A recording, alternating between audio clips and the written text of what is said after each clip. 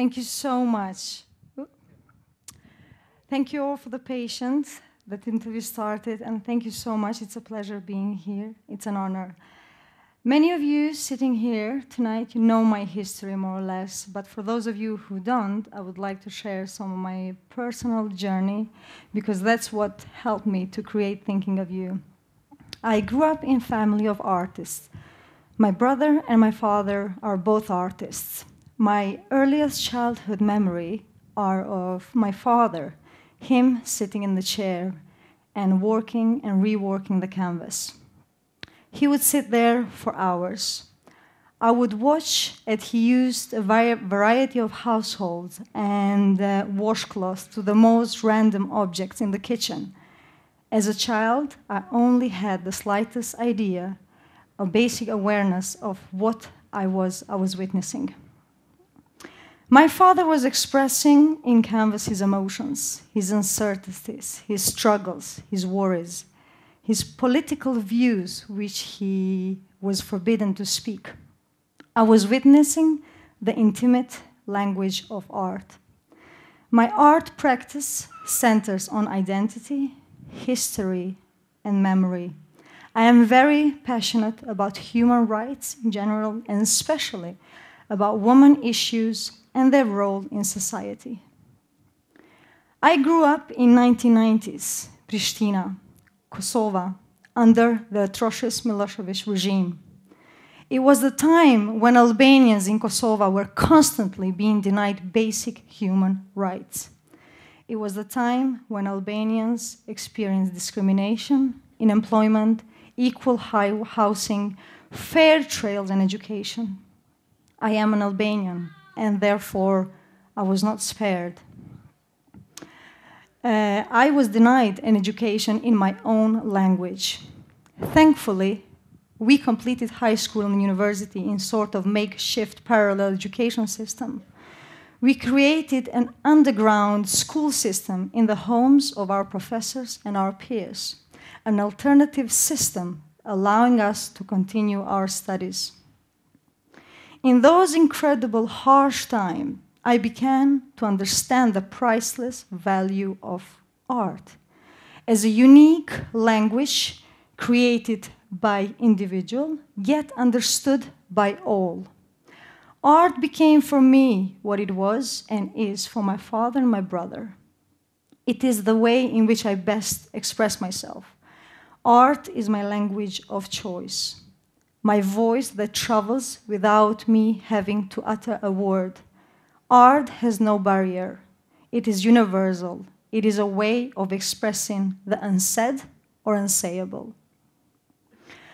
A few years ago, I came across a very rare TV documentary, an interview about the survivors of sexual violence. I watched as the woman hiding behind the curtain in a home in a hope of remaining anonymous recounted her story of sexual violence.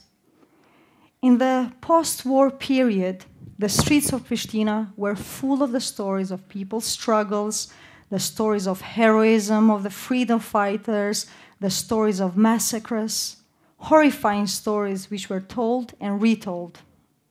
Yet, in all the years since the war ended, I had never once heard a woman share her story of being sexually violated.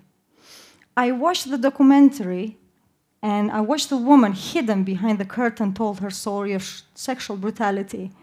And then I, li I listened as this woman went on to talk about how it just did not end there.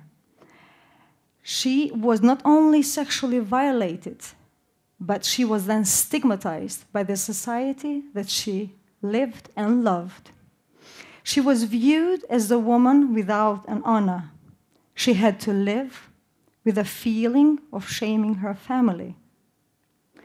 I couldn't believe that, on top of the reality of her horrific experience, she was forced to carry the guilt.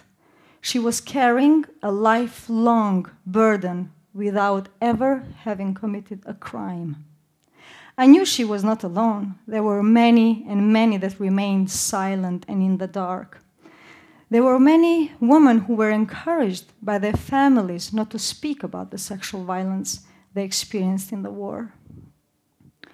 During the war in Kosovo, sexual violence was not a rare and isolated act. It was deliberately used by the enemy forces as an instrument to terrorize civilian population and to push people to flee their homes. I felt deep sadness for these women. They had experienced horrific, terrible violence and then being rejected by the societies. So as I was watching the documentary, I was wondering why are these women being treated this way? Why were they being silenced and stigmatized? And where were the institutions that were supposed to protect them and support them? After watching the document documentary, I knew that I needed to do something about it. And I knew I, I had a feeling that I had to push this woman to break this silence. I wanted to fight the stigma and I wanted to know that I am thinking of you. We are all thinking of them and they are not alone. I wanted to do something that would involve the whole, the whole society, the institution, the government. I wanted the woman to feel the solidarity of nation coming together to help and to give. Uh, something that left a mark on my childhood, as I said before, my art practice centers on identity, memory, and history. Something that left a mark on my childhood is that with my parents, I participated in a massive event of reconciliation of the blood feuds during the early 1990s. That was the first time that I witnessed the sense of solidarity when the whole nation came together, when people from all walks of life, rich, poor, rural, urban, men and women forgave the old disputes and then moved forward. I would never forget that moment. I wanted this woman to feel exactly the same solidarity, the giving, the understanding of pain, the recognition of it, and then moving forward. Thinking of you is dedicated to the Kosovo survivors of sexual violence during the war. But at the same time, it is dedicated to the whole, to the all sexual, to the all um, sexual violence all over the world. It has its roots in Kosovo, but at the same time, it has a universal language of its own, and it can be understood and felt by everyone. Sexual violence continues to be used as instrument of war and its victims remain unrecognized and silenced globally. So, in creating uh, the art installation, Thinking of You, I wanted to make a direct call to break the silence, to fight the stigma, a call to act and show solidarity. I called on men and women to donate a skirt or a dress, to recognize the survivors, I wanted to create a piece that there showed that there is no shame and no stigma. I wanted to break the silence. I wanted to bring this issue into the man's world, to a public place. I decided to take this hidden private issue that no one wanted to talk about and, bring, and place it in the main area in football uh, stadium in Pristina. I decided to create a piece where thousands of skirts and dresses were hung on the washing lines across the stadium, and no longer would it be a voice behind the curtain. Across Kosovo, men and women, young and old, came forward to donate a skirt to join this activist art installation. And by making everyone part of it, part of this installation by the very act of going in each city and talking to the survivors and talking and collecting the skirts and talking the piece took on of its life on its own journey it became a journey of listening to the stories from all over kosovo it became a place where women shared their stories and their concerns it was very, very emotional, deep learning experience for me and for all who helped and participated. The art installation brought us together to remember the pain and to honor the survivors.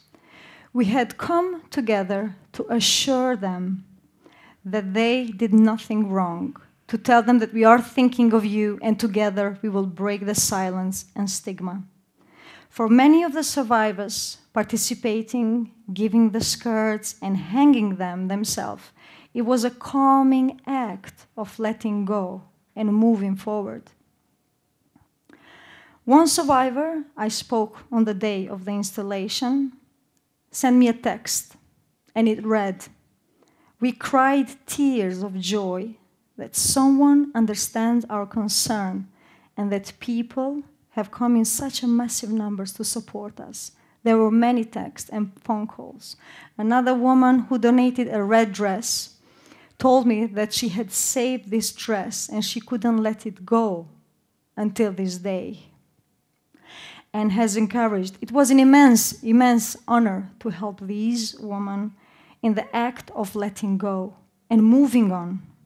The women I met during the journey of thinking of you were all strong women, survivors who had suffered a lot and who deserved the recognition and the support of the community, institution, and government. I can only hope that the art installation, Thinking of You, has encouraged our society to begin to break the silence. For all the silence surrounding this issue, there were many women activists and um, who kept fighting even when no one wanted to listen. And I thank all the volunteers, everyone who contributed, because they were an inspirational and enormous help on this journey. Thinking of You is a story of survivors, strength, and solidarity. As a mother, telling a story is part of my daily life. So I want to end up telling you a story about the starfish story. I don't know how many of you know the starfish story of making a difference. An old man was walking on the beach one morning after a big storm, and the storm had washed up thousands and thousands of starfish into the shore. He sees a little girl in the distance and tossing starfishes back into the ocean, and people watch amused. The girl picks one up and tosses into the ocean, and then another, and then another. The old man says, Little girl, what are you doing? You can't save them all. It's impossible to make a difference. There are thousands and thousands of starfishes in the shore, so there is no way you can put them all back into the water. Returning another one back to the water, she says with a smile, It made a difference to that one, and to this one, and to the other one. So then all the people came together, they joined in, and they started tossing the starfishes into the ocean. We can all make a difference and help create a positive change, especially when we're tackling and addressing massive social problems, especially on this case of sexual violence. I hope thinking of you gives survivors the strength and the support to move forward and to speak up. And I hope it will encourage all of us to speak up because for together we really can make a real difference. Thank you.